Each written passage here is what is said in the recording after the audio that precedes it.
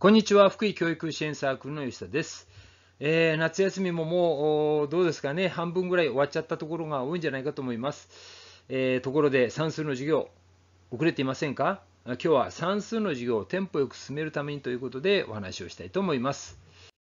えー、とですね、3年生の問題にこんなのがありましたね。3450と3570とではどちらが大きいかと。これ実は読めた瞬間に3570っていうのが分かるんですけども、まあ教科書ではどの位を見て比べますかと。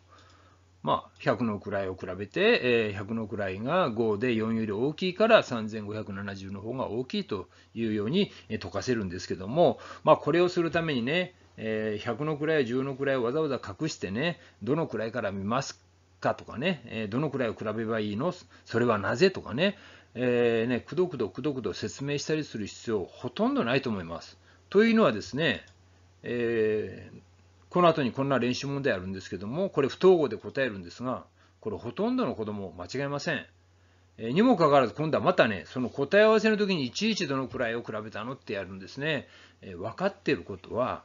子供たちに任せて、どんどんやらせて、そしてね、丸をつけてあげれば私は十分だと思います。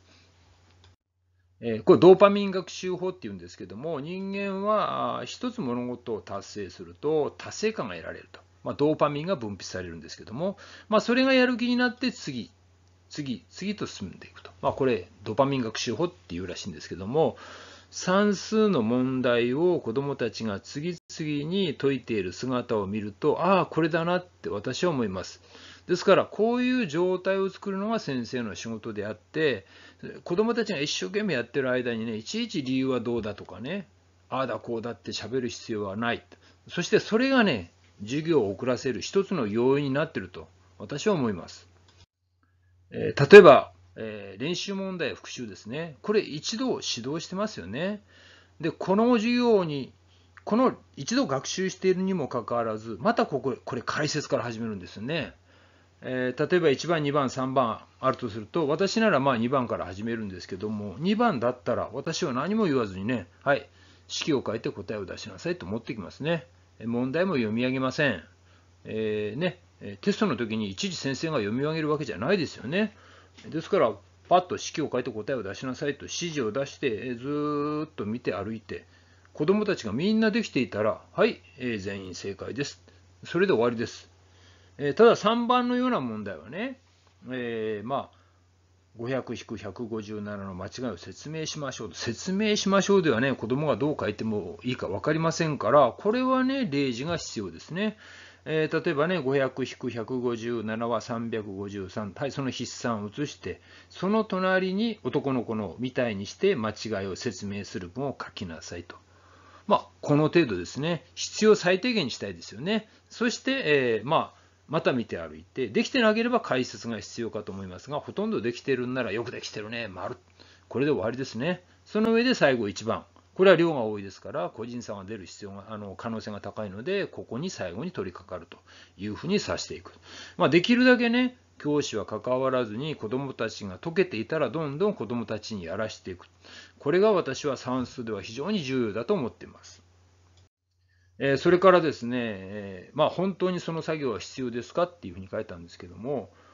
ここにある円の図とね、え平行四辺形の図、え私が担任をした頃は、この円の図に従ってね、ハサミで切って、それを糊でペタペタ貼って、え平行四辺形を作って、それで円の面積はね、最終的には長方形の面積に変換できるんだよというような作業が単元の初めに入っていました。これ真面目に私3回ぐらいやったと思うんですけども、これをやったからね、円の面積の公式が理解できたかっていうと、全然関係ないと思いますね。もうこれ断言できますね。っていうのは、手先の不器用な子にとっては、この貼ることだけでもう頭いっぱいなんです。で授業時間内に貼れないんです。で結果残って貼る作業をしたなんてこともありました。えー、本当に必要なんならね、今もやってるはずなんですけども、もう最近の教科書こんなことしてませんよね。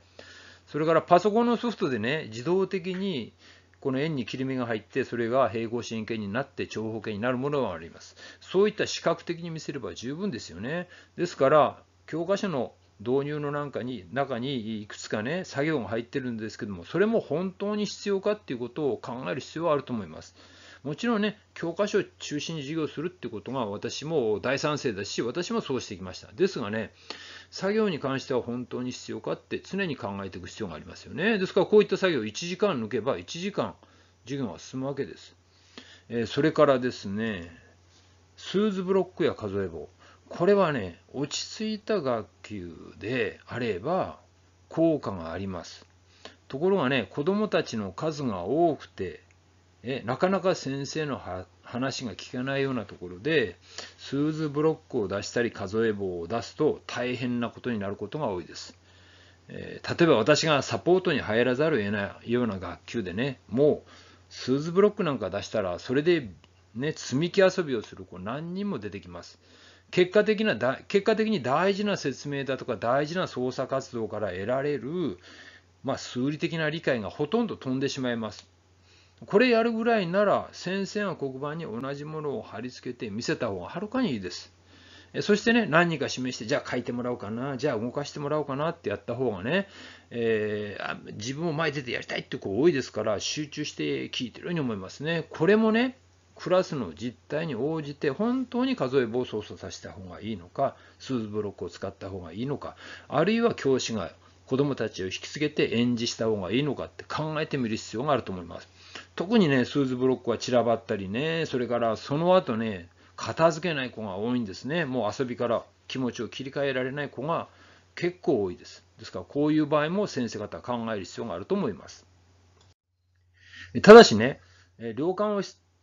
養うためにどうしても必要なこともあるもありますね。例えば1立方センチだとか1立平1平方センチメートルだとか1平方センチ、1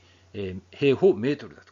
これ新聞紙をつなげて作るだとかね、こういう作業必要だと思います。それから1立方センチなんかもね、ちっちゃい積み木積み立てて、組み上げて、どれぐらいの大きさになるかっていう量感も必要だと思います。それから1リットルね、これ1リットルマスに水入れるとね、もうそこら中ベタベタにするんですけども、まあ、デシリットルマスで10杯入れると1リットルになるだとか、こういうところはね、私は多少時間がかかっても必要だと思います。ですから何でもかんでも作業や体験活動がいらないってわけじゃないんですけども、やっぱりその数理的な理解を深めるためにどうしても必要かどうかってことは私は先生が選択していかなければいけないと思います。え、何回か私話したんですけども、石田一蔵っていう数学、ね、算数教育の立派な先生がおられました。その先生の講演会何回も私も行きました。えー、先生はこうおっしゃってますね。算数の力は子供が問題を解いていくことでつきますと。子供が問題を解いていくってことが大事です。黙々と子供が解いていて、分かった、できたっていう状況を作り出すのが、私は先生の一番の仕事だと思ってます。でもちろんね、えー、どのように考えたのかを説明するだとか、どのようにかいあの考えたかをノートに書くだとかという作業がね、必要なところもあります。それはそれで私は重要だと思いますがね、何でもかんでも話し合いに持ち込まなければいけないっていうのは算数の授業を遅らせるだけだと私は思っています。